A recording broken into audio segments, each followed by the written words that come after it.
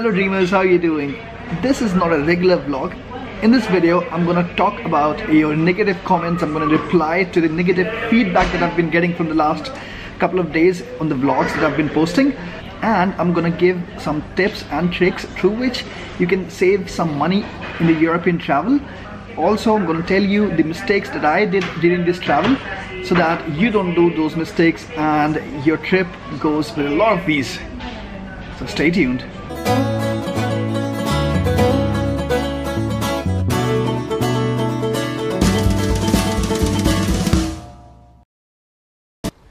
Morning, everybody.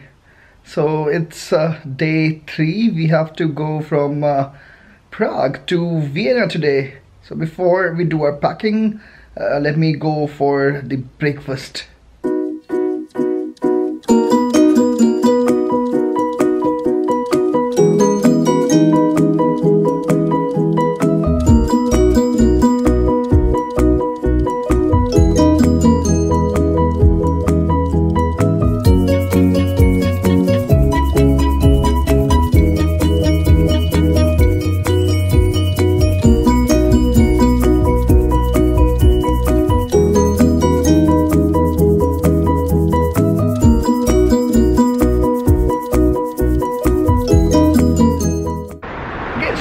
Hotel in Prague, uh, we booked an Uber, but it took like ages to come. Uh, we had to catch the bus, so we rushed towards the metro station. I couldn't shoot all of it because we were in a hurry, and uh, we finally reached the bus stop just in time. And one minute after we reached, the bus started. So we were really lucky to catch that bus, and now we are in Vienna because this is my first time in Vienna and hers as well we are really really excited about the trip and really looking forward to spending a really great time in Vienna.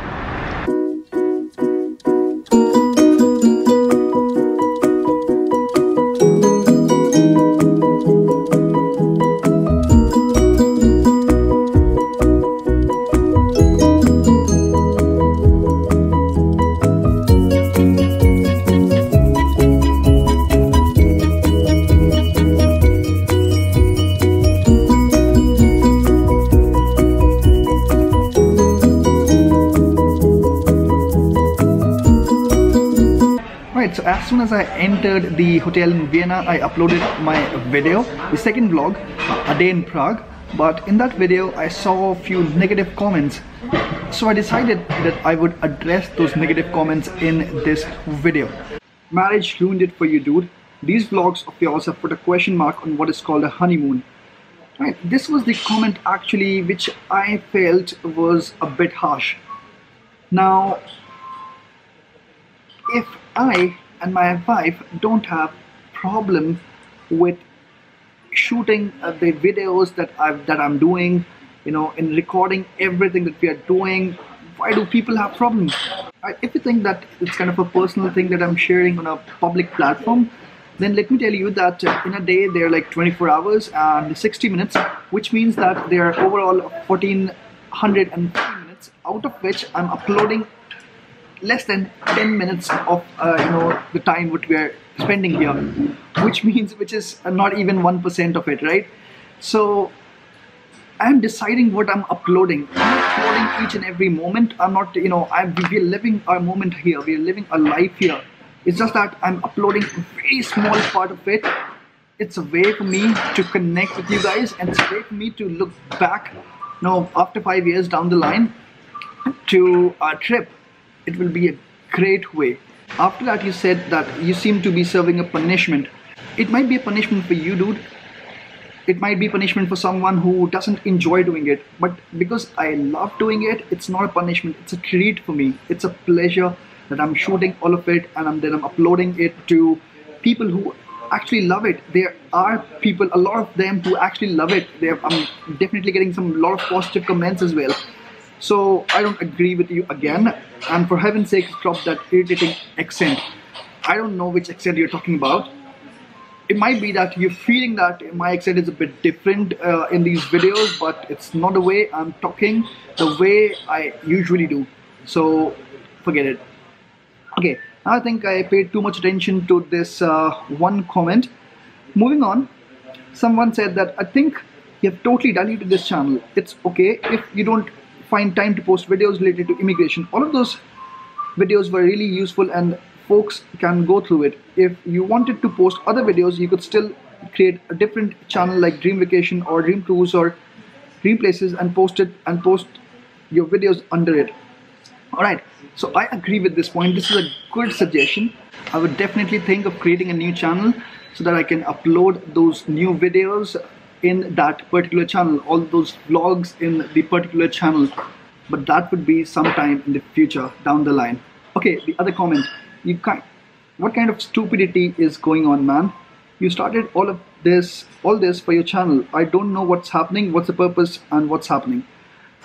Okay the purpose. The purpose is to stay connected with my subscribers.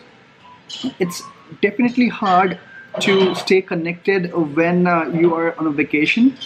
And the only way to stay connected is uh, you know making regular videos. And through all of those you know famous youtubers i watch a lot of videos uh, you know casey neistat's the peter mckinnons all of those people say that it's very important to stay connected to your subscribers. It's very important to make a connect you know a direct connect to your to the heart of your subscribers now I know that some of you don't like these videos and I and that's totally fine.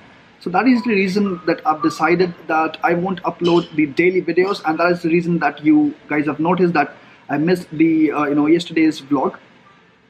I'm in Vienna at the moment and I will be here for two three days. So I will be shooting you know two three days videos and I'll be clubbing all of those videos in one vlog then we'll go to another city and then I'll make one video only for the next particular city. So this is it. I think I paid a lot of attention to the negative comments. You know some might say that you know ignore the negativities and uh, do what you're doing. And that's what I want to do that you know I want to do what I love to do. And that's what I'm doing at the moment. Now time for some tips. Number one booking the flight. There's a website named as uh, skyscanner.com it's a beautiful website, just like a Trivago of uh, flights. It actually shows you the quote from different websites all over the world and you can save a lot of money. If you book your flights through that website, it will actually direct you to make my trip, you know, probably some uh, other budgetair.com or some other um, different websites. Number two, hotels. Definitely you can go to Trivago so that you can find the best deals uh, for hotels if you're going to uh, book the hotels in a different city, in a different country.